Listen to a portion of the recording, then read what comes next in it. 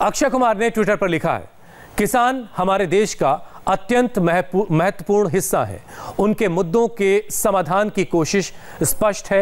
मतभेद पैदा करने वालों पर ध्यान देने के बजाय आइए एक सौहार्दपूर्ण समाधान का समर्थन करें। भारत एकजुट है, भारत प्रोपेगेंडा के खिलाफ है। तो कुछ इस तरीके से अक्षय कुमार ने जवाब दिया है। कंगना और अक्षय कुमार ने जहाँ रिहाना के ट्वीट पर पलटवार किया, वहीं पंजाबी सिंगर दिलजीत दोसांच ने पॉप सिंगर रिहाना के ट्वीट का समर्थन किया है। दिलजीत ने अपने इंस्टाग्राम पर रिहाना की तस्वीर शेयर की है। यह तस्वीर रिहाना के popular song run this town की है। इसके साथ दिलजीत ने रिहाना के लिए एक गाना भी गाया है।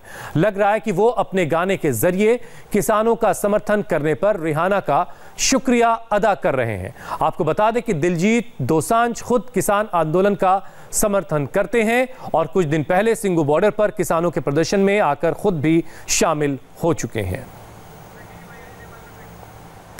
फ़िल्म स्टार अजय देवगन ने विदेशी प्रोपेगेंडा का करारा जवाब दिया है। उन्होंने क्या लिखा है वो भी आपको बताते हैं। भारत या भारतीय नीतियों के खिलाफ किसी झूठे प्रोपेगेंडा का शिकार नहीं बने। यह समय बिना किसी आपसी लड़ाई के एकजुट होने का है। तो कंगना रनौत, अक्षय कुमार और अजय देवगन ने भी इस तरह के जो विदेशी सेलिब्रिटीज के ट्वीट आए हैं, उसका करारा जवाब दिया है।